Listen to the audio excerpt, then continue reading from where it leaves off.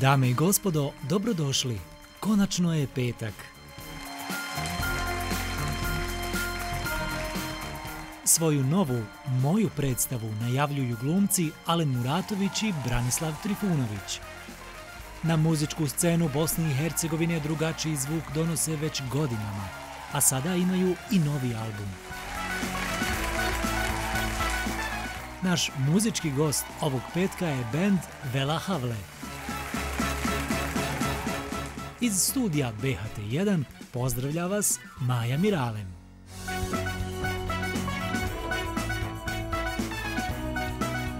Ćao, čao. Dobroveče, poštovani gledalci. Dobrodošli u još jedno izdanje emisije Konačno petak. 20. je maj, već e, idemo polako prema ljetu. Nadam se da je ova protekla radna sedmica i za vas bila dobro, bila uspješna i da ste sada spremni za potpuno uživanje narednih 60 minuta u programu televizije Bosne i Hercegovine. Čuli ste da smo vam pripremili sjajne goste i odličnu muziku u večerašnjem izdanju emisije Konačno petak, pa ja zato ne bih dužila, nego se zadovoljstvom najavljen bend koji, vjerovali ili ne, za ovih 14 sezona, koliko emitujemo emisiju Konačno petak, nikada nije svirao u ovoj emisiji. Zašto je to tako? Pitaćemo ih nešto kasnije, ali prvo da ih čujemo. Naime, nedavno su izdali svoj novi album, 22-22. Pričat ćemo o značenju upravo tih brojeva u samom naslovu albuma. A već sami teaser koji je poslužio kao najava nas je sve oduševio i potvrdio ono što su već mnogi rekli nakon prvog preslušavanja, da je apsolutno romantičan. Na samom početku muzičku dobrodošlicu nam želi band Vela Havle i pjesma Dok plešemo sami. Izvolite.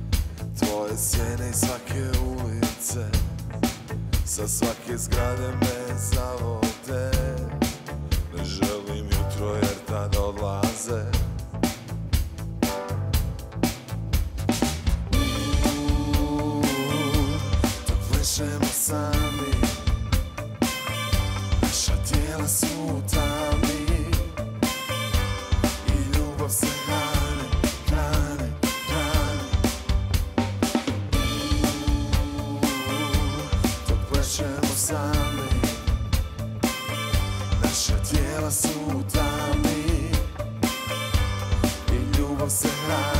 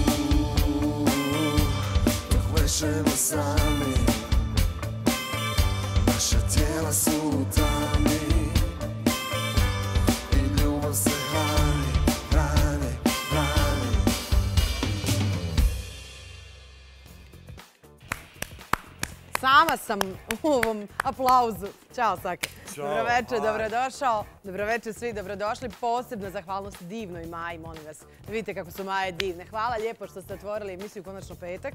Što ste konačno tu. O tome ćemo nešto kasnije. Jer mi smo se nekako dogovarali, pošto vas nikad nije bilo ovdje, sad kad ste tu, ne puštamo vas.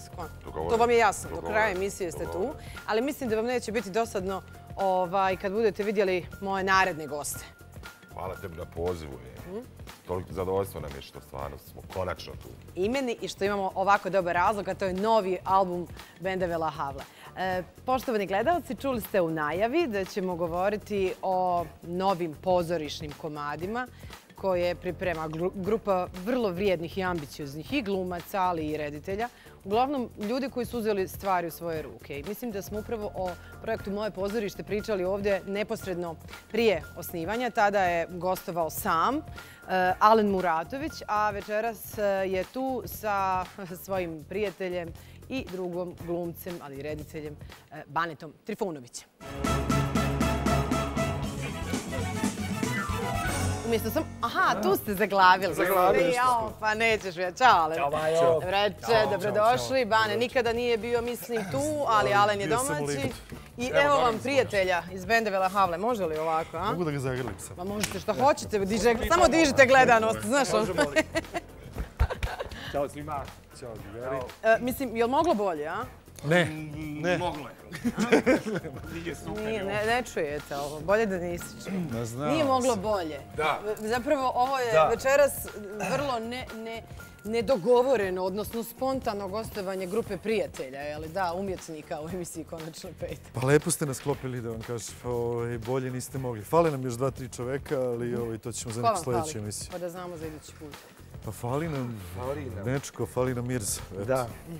Toliko. A znaš šta je zanimljivo, Majo? Evo, e, svake to zna pogotovo. Ja mislim da smo mi otprilike negdje on sa albumom, ja sa ovim svojim projektom. Da, da je to neko trajanje, ono, dvije, tri godine, četiri, koje mi između sebe dijelimo i upoznati smo sa svim i problemima i to. I negdje se desi da, evo, u nekih mjesec dana oni izlaze sa svojim albumom, mi izlazimo sa svojom predstavom i to isto negdje zanimljivo. E, sad prije nego što počnemo ono oficijalno pričati, bilo bi super kada biste jednom pravili neku, ono pisali, zapisivali, kako to teče od te prve ideje. Jer ovako super je kad čujemo pjesmu, sjajna pjesma, odličan album, predstava, genijalna, sve to. Ali evo, ti si baš u ovoj emisiji, mislim, najavljivao moje pozorište. Jesam. Ovaj, tada se desila ta nesretna pandemija više, ne, ne želimo je spominjati, ali naprosto nas je zaustavila ove dvije godine. I sada imate drugu predstavu, da tako? Moj predstav.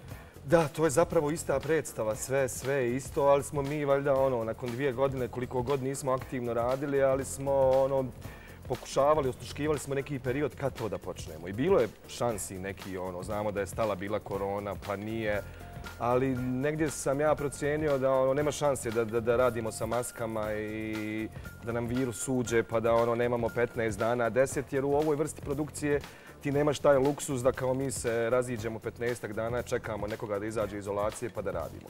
Tako da smo čekali neki ovaj pravi period i u svemu tome mi smo se vratili na isti materijal koji smo radili, ali kažem, ono, dvije godine su prošle, negdje smo se aktivno, Bane i ja, najviše bavili i dalje šta ćemo sa tim. I mislim da smo malo pametniji ovaj, u odnosu na to, da teke početke šta smo htjeli s tom predstavom. Vidjet ćemo gdje smo došli. Sad nam treba publika, ali mhm nadamo se dobro. E dobro, šta je onda moja, moja predstava i na šta pozivamo publiku 25. jel? 25. da. Da, ovaj, pa to je kompleksno pitanje, zato što je ovo jedan od redkih komada koji se bavi glumcem. I tim šta, šta slava, takozvana, po znacima navoda, ovaj, može da donese tom čoveku i ljudima oko njega.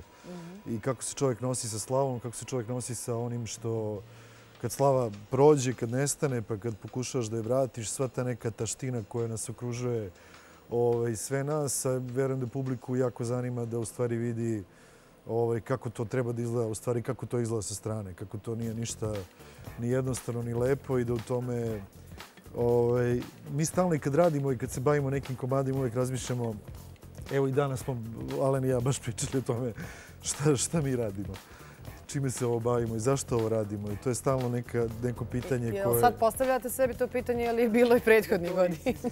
Šalim se. Ja, recimo, evo, ja sam juče, ovo moram, evo, mislim, toliko iznutra, ali možda bude nekom zanimljivo. Ja sam juče farbao perje. Sad zamislite kako se perje, kako, kako se, i on je pokušao, sam ja bolji. Ja sam, znači, Ja sam farbao perje koje se suši još uvijek i Bane mi prije pola sata šalje informaciju da je on nabavio neko drugo perje. A, a ovo se među vremenu i nije osušilo, je li to? Nije, sad je ono u kesi na nekom posebnom mjestu, nekih retma, ali dolazi i novo i sad je meni žao mog perja ovaj, kojeg sam tri sata Koji je sad vrlo skupo jer ipak profesor glume ga je farbao. Profesor glume ga je farbao, producent i glumi šta više nisam.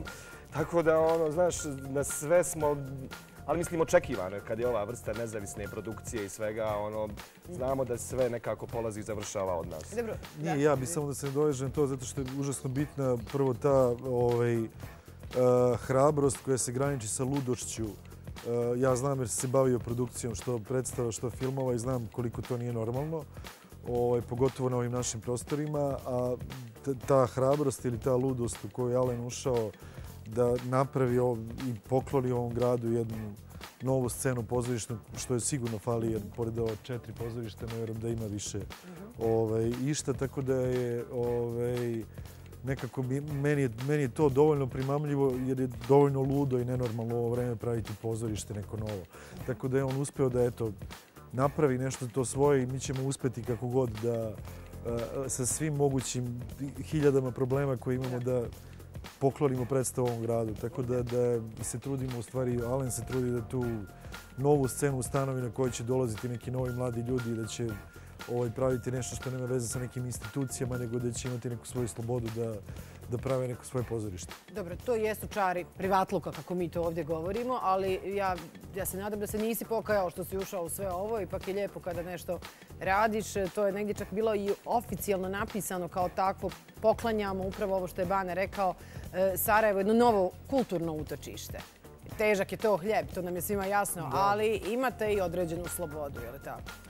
Ne to, da li sam se pokajao, ono, stvarno, evo ova dva mjeseca gdje intenzivno radimo, ovaj, ono, bilo je momenata, možda će on doći za sat vremena opet, gdje stvarno pomisliš, ono, da li, zašto, da li, da ne ulazimo sad u prevelike sfere, ali toliko je stvari zamršeno, komplikovano i toliko smo mi ljudi koji, evo, pokušavamo nešto da uradimo, što je malo drugačije na nekom kulturološkoj osnovi, toliko stvari nam ne ide na ruku. Ali valjda ta nada i želja i kad se dovoljno jako hoće, e, znači ja baš Banetu pričam neki dan, ja ne znam da li ja mogu poslije ovoga.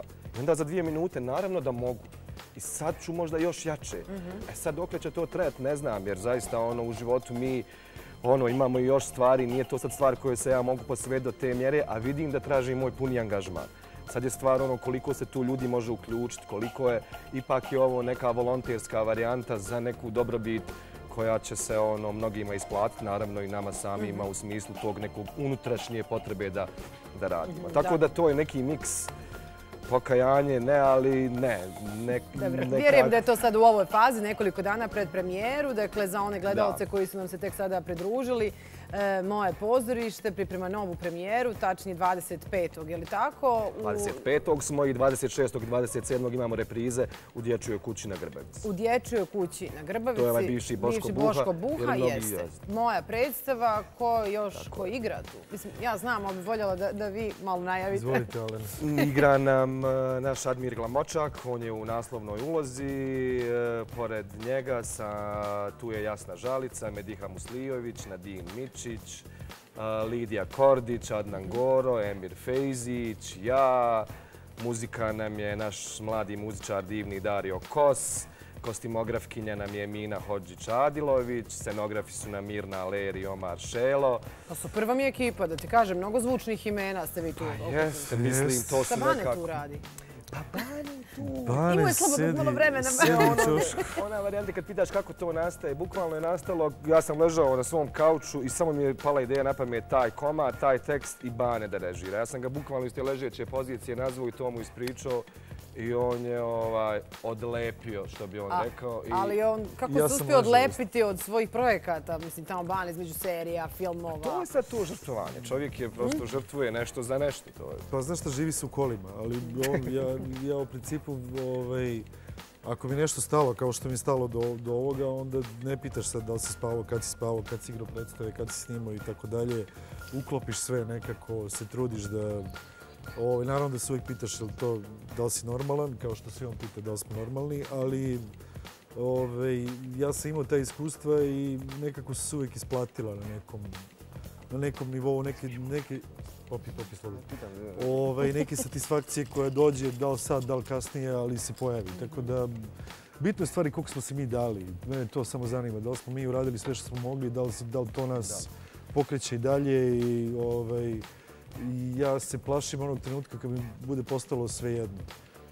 Još nije došao taj trenutak i uvijek tražim neke nove izazove kao i on, kao i ja ili ovaj, ne sad gomila naših kolega, ali jedan deo ljudi koji stalno nešto čeprka i kopka po sebi i traži neke ove, teme, ideje kojima će se baviti. Tako da onog dana, vjerojatno, kad mi to postane sve jedno, onda ću prestati da se bavim poslom. Da, ali evo kažu da je najteže zapravo izaći iz vlastite zone komfora s obzirom na sve ono što vi radite i ti kao profesor glume na Akademiji umjetnosti, ti kao sjajan glumac, režiser, producenti, evo, uh, farbaš perje. U kojoj ulozi se zapravo najbolje osjećate nakon svih tih silnih godina umjetnosti generalno? Mislim, znaš, nema to kojoj ulozi, on, ono, sve to, valjda čim se tim bavimo, to, to volimo. Ono, ja ne mogu ono, sad razlikovati, naravno ja sam glumac primarno i scena mi je naj, neko moje utočište naj, najbezbjednije. Ali s druge strane, taj pedagoški rad mi je, bez njega ne znam kako bih mogao. On je neka kockica koja mi se slaže uz to, ovaj, koja me čini na dnevnoj bazi e, nekim ko negdje u nekom procesu i dalje traje i radi. Ova sad producentska opet uloga je na svoj način zanimljiva, divna, najmanje o njoj znam, zato me možda negdje i inspiriše i uzbuđuje i tjera me da to radim. Tako da ono, koja mi je uloga, ne znam, sve to nekako povezano i ide uz neku formu koja je jeli, na kraju predstava, film, ne, nemam pojma.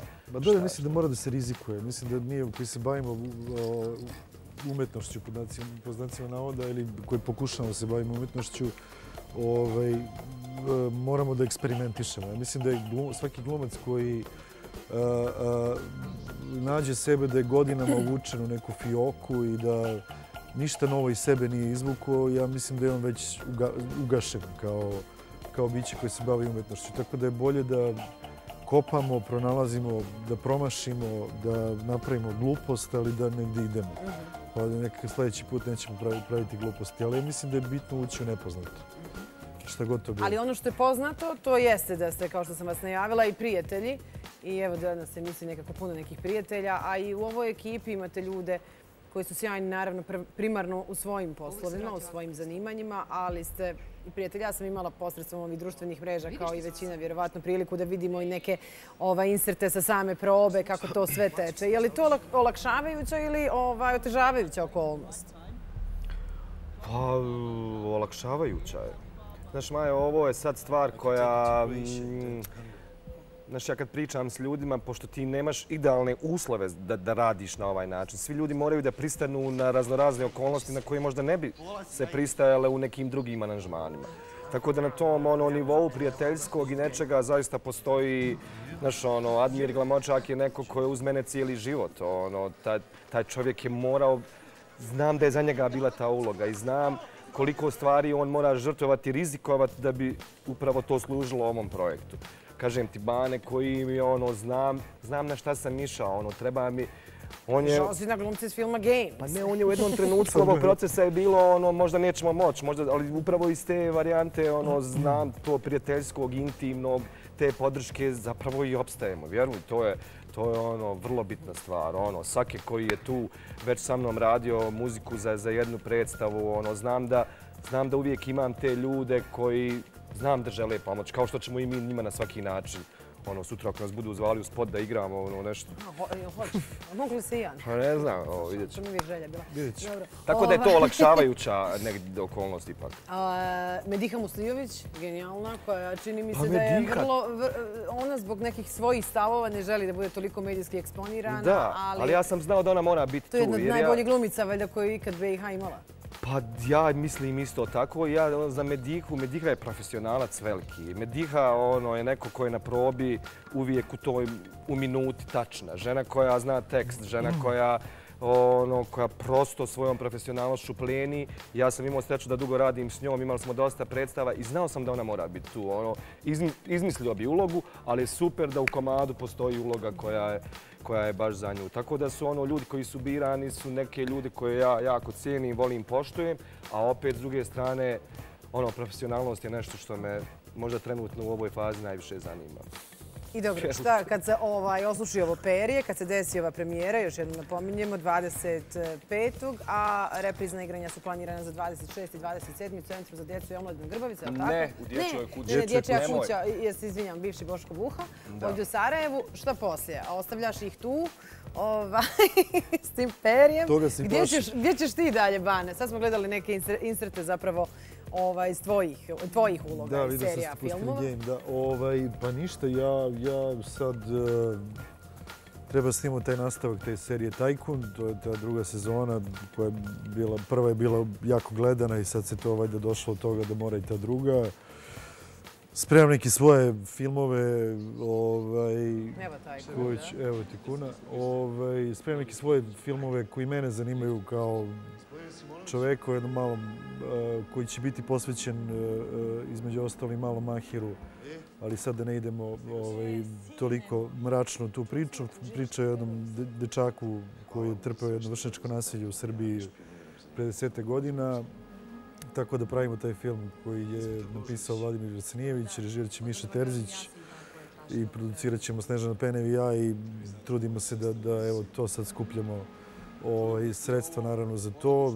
Ne znam, svašta, pozorišta i tako dalje. Moje telje 212, tamo sam. Uh, Često dolaziš i na Sarajevo Film Festival, mislim ti si u Sarajevu zapravo Pa kao... ja ne dolazim na Sarajevo Film. Festival, ja dolazim ovaj, da vidim Samira, Lenku. Pa Ovaj, dobro, tad je u tom periodu SFFA je Sake najpopularniji u gradu. Jeste, on je glavni- reći, jel? ta- Takav pa. Ako neće memorija upadne, hvala ti. Ne, ali tad Ja si... ovamo sve... Vjeru mi, tad si najveća faca ako uspiješ ubaciti ovaj, pogotovo Raju iz Hrvatske i Srbije kod Nije, ma dobro, i to je nastalo, mislim, i taj... e, Dobro, nećemo. Tako da je ovo gostovanje, hoću ti reći, vrlo, vrlo s namjerom. Već pravimo teren, pripremamo. Za SFF, dobro. Ma ne, ja sam tu svakako zbog njih. Ja da nemam ove ljude u Sarajevu, ja ovaj, ne znam kako bi sa svojim životom. Tako da su meni ljudi, ovi ljudi bitni u životu. Da li je to SFF ili nije SFF, mene to ne zanima. Mene zanima da dođem njih da vidim da mi imamo svoje večeri, svoje priče i svoje budalaštine i ovaj, bez toga ne može se živjeti. Sjajno. I evo prije nego što pustimo i marketing, producent će shvatiti o čemu govorimo. Jo, još, producent. još jednom producentu, dakle, ove, gdje karte mogu kupiti naši gledalci koji žele da vas gledaju. Još jednom pominjemo 25. 26. i 27. Tako je, sa početkom u 8 sati. Karte su preko platforme Kupi kartu. E, pošto smo ova, isto novi smo u tome svemu, pa vidim javljaju se ljudi koji i ne barataju baš tim ono, online sistemima, ali ovi Kupi kartu, oni, oni imaju mnogo svojih ovi, biletarnica i na mnogo mjesta u gradu, BKC, SCC, BBI, dakle mogu kupiti karte uživo ako jeli, ne uspijevaju tim online putem. E pa. Kupi kartu, moja predstava. Moja predstava, još jednom kažemo, 25. 26. 27. Da, mislim da samo trebamo, izvini Majo, izvini. Ništa izvoli. Nismo nikad naveli da je, da je predstava rađena po, prema motivima filma Birdman. Da. I to je nešto Puno smo se što... nešto raspričali, dugo se nismo vidjeli i meni je Pa to jesmo, ovaj, jesmo. otišlo. Tako da je ono, bila je najava nekad predstave čovjek ptica, pa ono, ali kažem, eto, u dvije godine smo nekako došli do nekog naslova koji je nama sada puno tačniji, ali nekako je bitno naznačiti da je predstava nastala po Birdman. Oscarom nagrađenom Birdmanu. Da, sjajno. Hvala vam puno što ste bili moji gosti. Hvala I želim vam tebi, ovaj, uspješnu premijeru, ali i svako naredno reprizno igranje. Vama, poštovani gledalci, nemojte da poslije bude niste znali.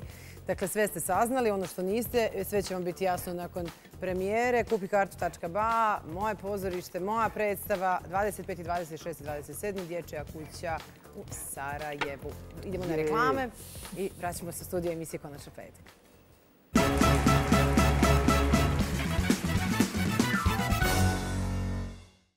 Ponovo smo sa vama u studiju emisije Konačno petak. Ako ste nam se tek sada pridružili, mnogo toga ste propustili, ali možete nas uvijek gledati e, na našim društvenim mrežama, na portalu bhrt.ba. E, ipak ono vrlo zanimljivo isto tako tek slijedi. E, za početak, prije nego što ponovo budemo slušali band Vela Havle, idemo do našeg Muhameda Mizića koji je ove sedmice u svom Mizimobilu ugostio jednog od najtraženijih autora popularne muzike današnjice u Bosni i Hercegovini, ali i regi Mirko Šenkovski Đeronimo je njegov gost. Poslušajmo i pogledajmo šta je to sve otkrio Muhamedu u Mizimobilu.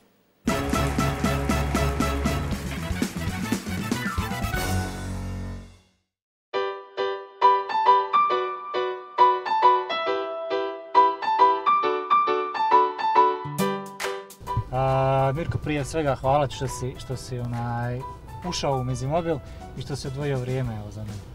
Pa hvala tebi na pozivu. Pa čitajući tvoju biografiju, to je jedna knjiga.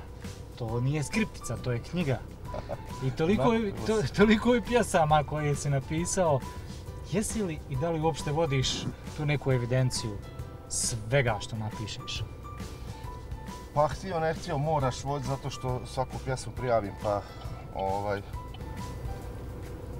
pa onda to o, postoji ta neka brojka u, u, u tim o, udruženjima autorskih mm -hmm. prava, pa ne, pa prebacio sam 400 nekih, možda sad već 450 pjesama da ima.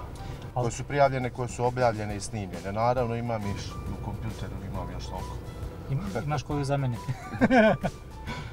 ovaj, e, e, kako uopšte izabereš e, koja pjesma je za nekoga? Ne znam, dovoljno je sad da spomenemo da se u proteklom nekom ovim projektima imao od Žere, Halida, ne znam, milion nekih pjevača. Kako znaš ko, ko, kojem afinitetu pripada ta pjesma? Pa, ovaj, posvetim se pjevaču, malo ga proučavam da vidim gdje ovaj gdje dobro zvuči, gdje mu dobro emocija izlazi, uh mhm. -huh. u ko, koji se tekstovi lijepe na, na njegovo izgled, na imidž i tako. Mhm. Mislim, sve je bitno.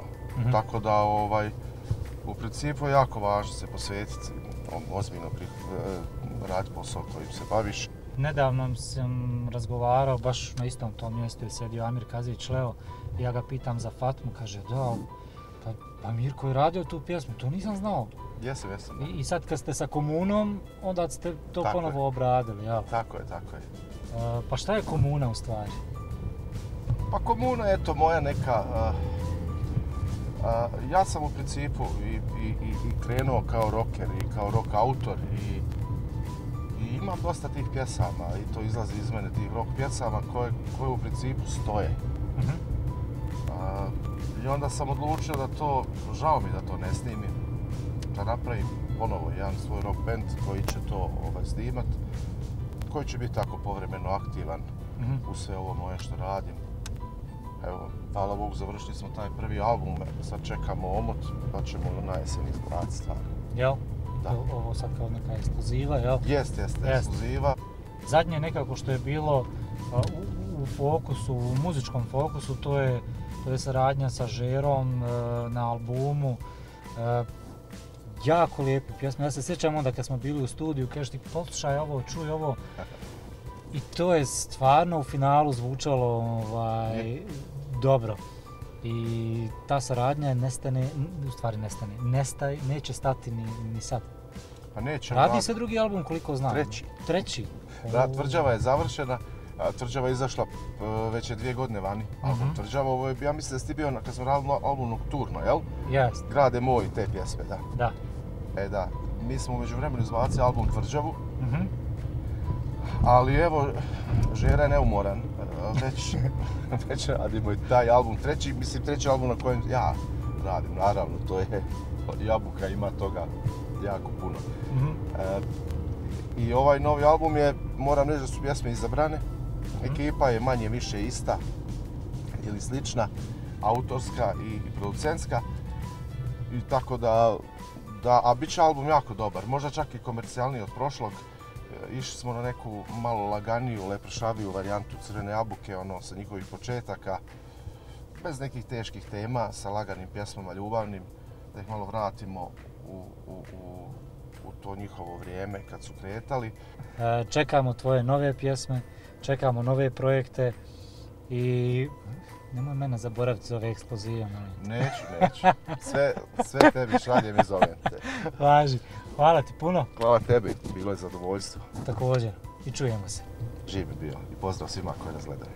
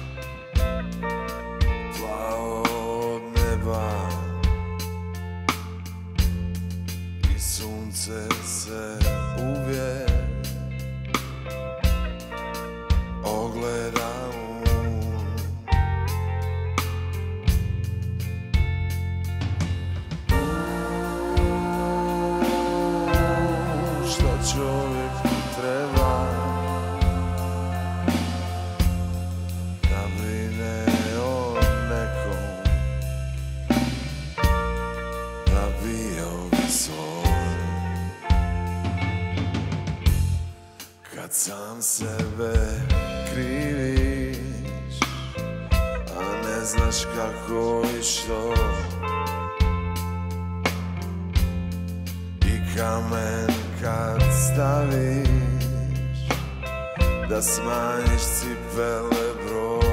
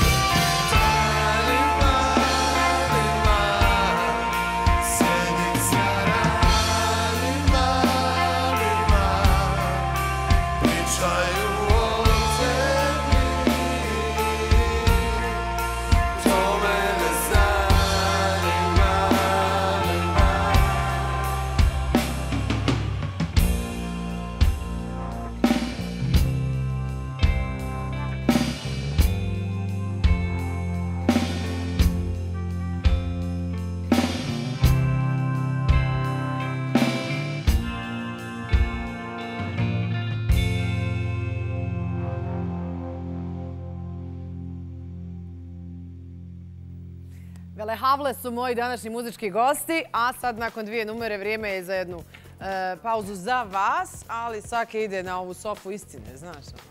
Izvoli, molim te, sjedi i ovaj, imaš svo vrijeme ovog svijeta kao kaznu što nisi bio, što je ovo prvi put za nikad nisam 14 bio. sezona. Jest. E, može li odmah jedan koktel? E, ide odmah Da jedan koktel, skra- da, da mi skratimo. Ovaj, Sake, jeste li očekivali ovako fenomenalne reakcije? Album je izašao Pa, Na-. Nadali smo se. Nema, o, deset dana možda. Mhm. ovaj, naravno da se tome nadaš, ovaj, ali ne možeš, ne možeš unaprijed znati a, kako će biti. I, obzirom da smo tek počeli s promocijom, stvarno je fenomenalno. Očekuju nas još, ne znam, dva, tri singla da skinemo s albuma. tako da stvar, u, ovom, u ovom vremenu gdje je muzička industrija okrenuta samo prema singlovima, rijetkost je da se izbacuje album, pogotovo kod nas. A još je rijeđe da se taj album sluša od početka do kraja, bar po Mhm, ljudima koji se stalno javljaju i po YouTube Watch Time. Onaj, tako da stvarno sam sretan i zahvalan što je to Da, tako. fanovi su stvarno oduševljeni, čak su vas i ove naše, neke vaše kolege, ali vrlo zvučna imena muzičke industrije javno hvalili. Ne znam, jedan od njih je do Majka, je li tako? Da, da, da, Ovaj, da, da, da, da, da. Ne, prve reakcije su bile stvarno sjajne. Mi smo isto tako malo se ulijenili ovdje kad kažem mi, mislim na publiku, jer ovaj, pogotovo evo kažem i sa, s obzirom na koronu i zbog činjenicu gdje je sve muzika, koliko se to sve isplati ili ne isplati danas, nije bilo ovaj, pa kao ajde izdaju album, dobro izdaju album to. Međutim, kako se sluša, pjesma za pjesmom je sve bolja i bolja. Hvala ti. Ovaj, I evo i mi ovdje sad smo stvarno uživali i hvala na ovoj svojevrsnoj televizijskoj promociji. Mislim da niste nigdje, nigdje nismo, nismo, gostovali. ovo je prva, albuma. prva o, uživo live da sviramo. na Hvala na tome. Mislim da ste to vi dobro organizovali jer ide to ljeto koje smo malo prije spomenuli, osim Sarajevo Film Festivala, bit će sigurno raznih svirki i Ponovo koncerata. da se zahvalim što si me uvalila ovaj kod Burije za partije. Ne, pa Hvala mi to ne, ne, dođemo pa svi kod? Saketa i družimo se onako malo kad prođu Evo, oni, fancy party i to sve, znaš, a onda tu možemo da se opustimo i da uživamo. A, 22, 22, Tako je. šta, šta je fora s tim brojevima, s tim omjerima Pa bilo ili sa satom, šta? Jeste, ja sam u stvari, znaš ono kad si dijete pa video rekorder, pa s- kad god pogledam u sat, u stvari nije kad god, ali često sam stvarno viđao taj niz brojeva. I onda kada sam počeo da radim na albumu, Dobar koktel, jel da? odličan je. Odličan je, hvala ti. Eldine, odlično. Ovo je jedan od boljih dijelova emisije, znaš, ovi Iski, kokteli. iski ispod šteka, ko, ispod, ispod šteka ko na Hayat. A, I kad smo krenuli, kad sam krenuo da radim i kad smo krenuli da radimo, ovaj, to se malo pojačalo.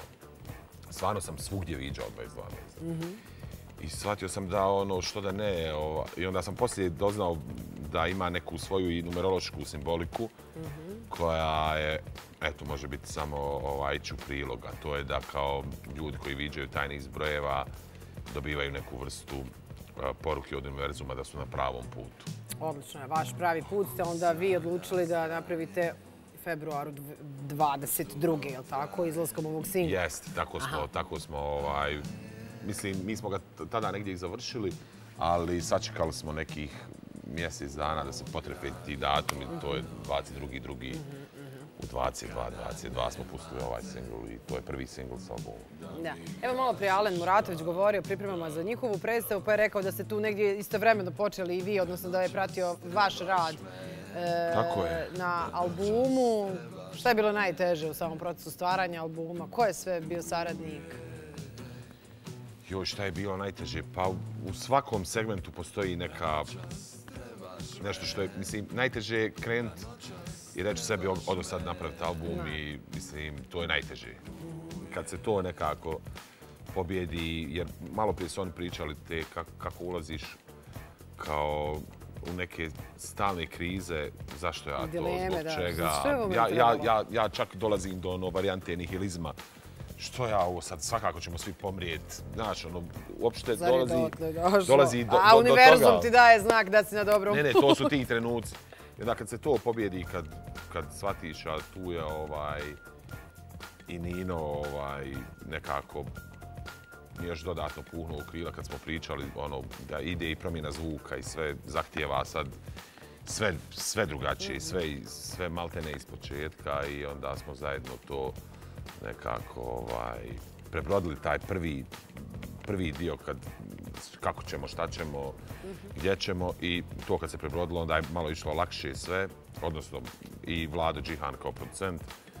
Tako da imali smo super saradnike, imamo super saradnike i moram se zahvaliti Adiju, Elviru, Maj, divno Ini koja hvali, hvali i Nini naravno. Stvarno, znam da zvuči subjektivno, ali stvarno su najbolji na svijetu. I taj zvuk se osjeti zapravo tog Da. ovoga. Koja je tebi najdraža pjesma s ovog novog albuma? Nemoj mi samo reći, ono, molim te, sve su to moja djeca i tako dalje. Kako koji dan?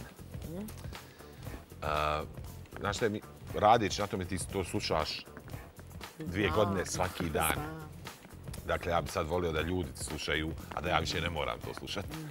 Odnosno, uživam kad, kad ih sviram. A, ali kako koji dan, Eh, recimo, slabo kontaž, eh, stvar, stvar koju ćemo naredno odsvirati, mi nekako ovih dana naj, naj, najbolje liječi. Mhm, odlično. E, kažem opet, dolazi nam to ljeto, svi smo željni izlazaka i koncerata. Je li vi volite svirati za tu neku intimniju grupu prijatelja? Negdje mali neki prostori, nemam pojma, ili ste poželjeli neke velike... Pa- mislim da s ovim albumom će biti zahtjeva za, za, za veće Pa neke mislim, pozornice. pa jedno i drugo, ovaj, nemam, nemamo mi tu stvarno smo željni da što prije a, dođe do publike ovaj album, a, da li, da li a, slušački ili live, da sviramo, tako da mi ćemo ljeto provesti uglavnom promovirajući, skidajući nove singlove, spotove, a, tako da već od polovine ljeta ja očekujem da ćemo krenuti. I još nešto što sam trebala zapravo na samom početku da pitam zašto, ovaj, šta se desilo to s tobom i samo pa je ovo najromantičnije izdanje grupe Bela, Bela Havle do sada? šta je To bilo? Stvarno ne mogu reći. A ne možeš mi reći? Aha, pa dobro, ne moraš mi reći. A ajde, reci mi, pratiš li Eurosong? Ali istinito. Šta god da je bilo istinito je. Dobro, onda slušajte dobro pažljiv album. Jel pratiš Eurosong, jesi gledao Eurosong? E, nažalost nisam. Nisi gledao Eurosong. Ne, u stvari nije nažalost. Slagao sam kad sam rekao nažalost. Nisam. Sa Zašto? velikim zadovoljstvom. Sa velikim zadovoljstvom. Baš ne, ne voliš nikako tu manifestaciju. ne volim, stvarno. Ovo je li realno? Pa šta, šta? Vidiš, trebala sam pitati Alena Muratovića, on je imao neke objave na društvenim mrežama vis-a-vis određenih predstavnica. Ali Saru Jo znaš. Znam, da, da, da. Sara Jo, nažalost, nije otišla da predstavlja svoju zemlju na Eurosongu, ali je njena pjesma Muškarčina sa kojom je bila kandidat za Eurosong. Ovaj, srušila sve rekorde slušanosti i evo Sara Jo nakon ove emisije nastupa u Sarajevu. I to znam. E, stigla je, nije tu sad u studiju, ali stigla u Sarajevo, nekako smo u nekom sajtnutu, ipak imamo posredstvo modernih tehnologija, bi trebala biti sa nama na, na vezi. E, e, e, Saro, jesi tu, jel nas čuješ? Evo ga, Sara zapravo stiže u Tu Sarajevo. sam, zdravo, čao svima u studiju. Ćao, dobrodošla u svoju nekako emisiju. Emisija Konačno petak je tu uvijek Jeste. i ti si uvijek tu kada možeš da budeš. Stižeš u Sarajevo na koncert i ovaj, muškarčina će sigurno biti ovaj, hit večeri, jel da? Da, definitivno će imati posebnu čar izvođenje te pesme baš ovde u, u Sarajevu. Baš sam se uželela svoje publike i dan danas prepričavam svima da mi je jedan od najomiljenijih nastupa onaj koji se desi 2019. godine i baš zbog toga što je bio toliko fenomenalan, imamo malo tremu da li ćemo uspjeti to da nadmašimo, ali mi ćemo dati sve od sebe. Da, Saro, uh, prošli put si nastupala, mislim, Bru Imperial Pub je bio u pitanju. Sada si gdje? U Domu mladih. Da, pa u Domu mladih, reci to, je mnogo veća scena. Dakle, požurite svi vi nakon emisije Konačno petak. E, Koncert će biti, sigurna sam, e, fantastičan i show koji Sara zajedno sa svojim plesačima napravi uvijek. Ti si naravno gledala Eurosong, naravno da si glasala, odnosno da si navijala za konstraktu. Cijeli region je zapravo navijao. Tvoje viđenje Jeste. manifestacije sada, nakon što je sve završeno, Ja volim da pratim Euroviziju, da, nekako je to postala tradicija i uh, u, u- našoj uh, kući. Moram priznati da mi je sa neke tehničke strane gledano možda bila jedna od slabijih i nije bilo toliko uh, dobrih pesama kao što na primjer, prošle godine bilo ali su se naravno istakli ono, nekoliko izvođača se istaklo, istaklo i istinski sam uživala u njihovim nastupima. E, mislim da neću biti pristrasna ako kažem da je Konstrakta definitivno imala najbolji i najzanimljiviji koncept. To se dalo primetiti po glasovima i vrlo, vrlo sam srećna i ponosna na, na nju i na ceo region zato što smo čini mi se baš onako zajedničkim snagama navijali i bili uz nju. E, Saro, nama je koji pratimo tebe i tvoj rad vrlo žao uz dužno poštovanje konstrakti koja je zaista bila genijalna, iako to članovi žirija nisu tako mislili na žalost. Glasovi publike su bili ti koji su je doveli do petog mjesta i to je sigurno odličan uspjeh, mislim jeste.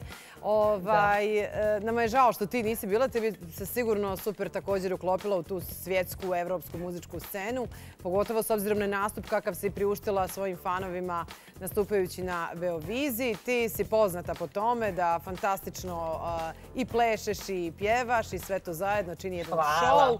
Kako si se spremala za večerašnji koncert u Sarajevu u Domu mladih? Gledali smo i tebe nešto preko društvenih mreža. Da, da, pa spremamo se dugo. E, zapravo ovo leto će biti vrlo onako, kako da kažem, sadržajno i uh, shvatili smo da će manje više biti nek, neka vrsta letnje turneje koje otvaramo baš ovde uh, kod vas, tako da su zapravo pripreme uh, krenule još pre nekoliko nedelja. Želeli smo prosto da pružimo drugačiji show publici po pitanju repertoara i koreografija i uh, prosto dali smo sve od sebe da napravimo što bolji show i daćemo sve od sebe večeras da, da stvarno energija bude na nivou, a nekako ne sumnjam s obzirom na to što sam ranije doživela, zaista ne sumnjam to. Da. E, Saro, hvala ti puno što si se uključila u emisiju Konačno petak, ovako neposredno, odnosno kako si stigla u Sarajevo. I ne sumnjamo da će koncert večeras u Domu mladih biti fantastičan. Vidimo se tamo naravno. A onda prvom prilikom e, svakako ovdje u studiju. Hvala ti puno, puno sreće, pratimo tvoj rad. Hvala puno vama. Hvala što si se javila. Sara je ovo večeras, dakle, nakon emisije Konačno petak u Sarajevskom Domu mladih. E, Saru znaš, jel da, pratiš? Znam i poznajemo se i lično, tako da Super je. Super je Zara. Eto vidiš da nisu svi baš ljudi koji bi išli na Eurosong loši. Nisam to ni rekao. Ali ne tako si to kategorično rekao, ne, ne, ne, na sreću. A ima raznih žanrova, nije Eurosong...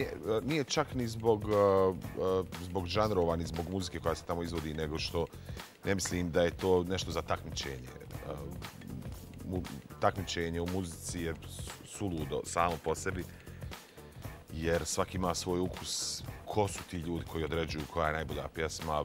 Dugo je već to politički ovaj, show, tako da mi je potpuno nezanimljivo pratiti. Mhm. Mislila sam te pitati, ali pošto nisi pratio, onda baš me zanima. Mnogi su rekli da je isključivo politika presudila u pobjedi Ukrajine, a neki pa se ne slažu.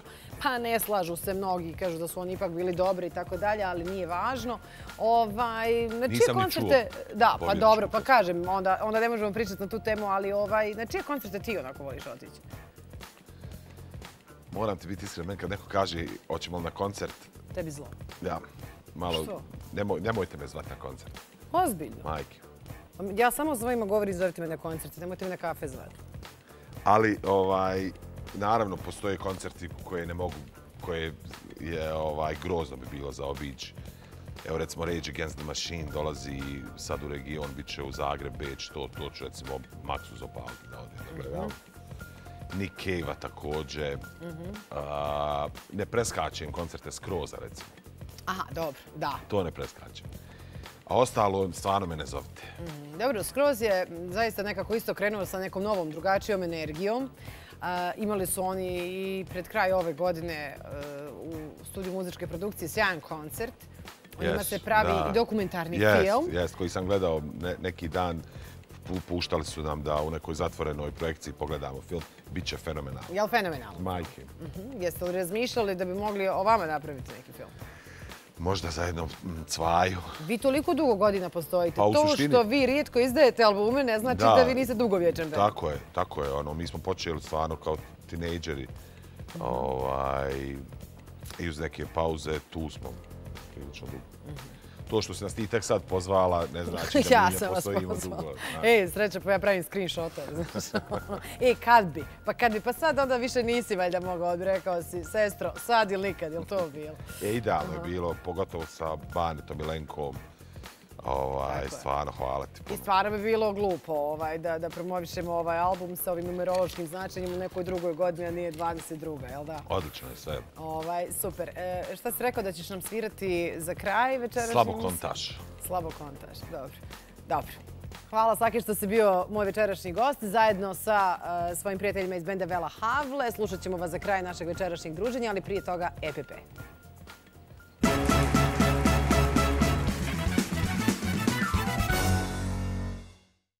I tu smo na samom kraju našeg večerašnjeg druženja u emisiji Konačno petak. Meni je bilo super razgovarati sa mojim dragim gostima, slušati divne pjesme benda Vela Havle, koji upravo u ovoj emisiji su napravili i napravit će još i u nastavku televizijsku promociju nekih pjesama sa njihovog novog albuma, e, za koji ne sumnjamo da ćete ga sa velikim zadovoljstvom slušati ne samo ovog ljeta, nego do narednog. Dakle, Vela Havle za kraj, pjesma Slabo kontaš.